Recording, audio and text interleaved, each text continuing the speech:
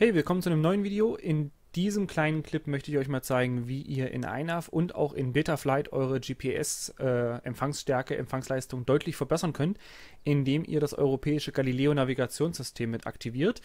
Das Ganze funktioniert allerdings nur über das äh, CAI-Interface, also über das Command-Line-Interface, äh, noch nicht über das GUI. Mal schauen, ob das irgendwann mal noch kommt.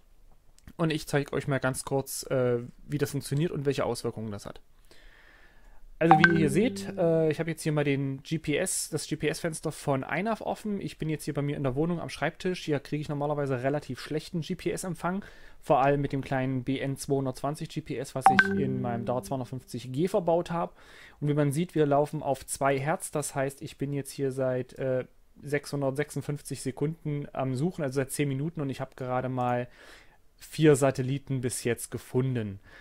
Äh, aktuell wird nur das GPS-System benutzt. Und ich zeige euch jetzt mal, wie man das Galileo-System hier noch zuschalten kann. Und zwar geht ihr dafür in das CAI, dann gebt ihr mal ein Get Galileo. Dann bekommt ihr diese Variable als Ergebnis. Per Default ist das ausgeschalten. GPS uBlocks use Galileo. Und wenn ihr das benutzt, werden auch die europäischen Galileo-Navigationssatelliten für die Navigation benutzt. Und das ist übrigens nachher auch das, wenn ihr in manchen OSD-Aufnahmen schaut, wo die Leute dann mit 20 Satelliten und mehr Empfang haben, was bei GPS gar nicht möglich wäre allein. So, und dann nehmen wir das einfach in die Zeile hier unten rein, ein Set davor, also Set GPS uBlocks Use Galileo ist gleich on, drücken einmal Enter dann drücken wir einmal Save und der Flight Controller rebootet. So, und wenn der Reboot abgeschlossen ist, schauen wir nochmal in den GPS-Tab. Wir sind immer noch bei 10 Hertz, das ist alles soweit in Ordnung. Jetzt haben wir natürlich rebootet, das GPS wird natürlich auch resettet, das heißt, es wird jetzt noch mal einen Moment dauern, bis er Satelliten findet. Ich lasse das jetzt einfach mal ganz kurz laufen und dann schauen wir gleich nach ein paar Minuten, wie das Ganze dann aussieht. So, der Flight Controller ist rebootet. Das äh, GPS hat einen Kaltstart bekommen. Und wie man sieht, nach ziemlich genau zwei Minuten haben wir jetzt acht Satelliten, jetzt sogar neun Satelliten. Die horizontale Genauigkeit, also das HDOP, ist jetzt auf 1,97 Meter, also viel besser als vorher. Ich könnte jetzt also sogar bei mir in der Wohnung scharf schalten, was ich vorher mit GPS-Only überhaupt nicht gekonnt hätte.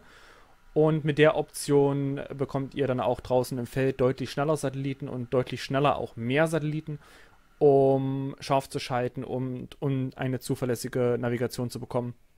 Und das sollte auf jeden Fall helfen.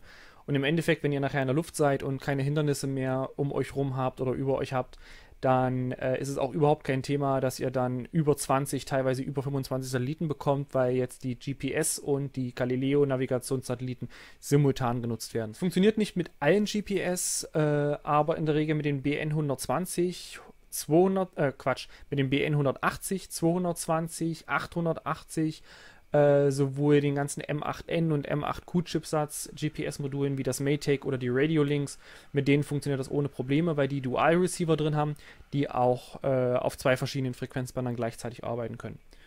Ja, ich hoffe, euch hat das Ganze geholfen. Und ich würde mich auf jeden Fall über einen Daumen hoch freuen und ein Abo und wenn ihr ein Abo da lasst. Und ansonsten wenn Fragen sein sollten, einfach in die Kommentare damit. Ich beantworte die dann auch. Und wir sehen uns im nächsten Video. Bis dann!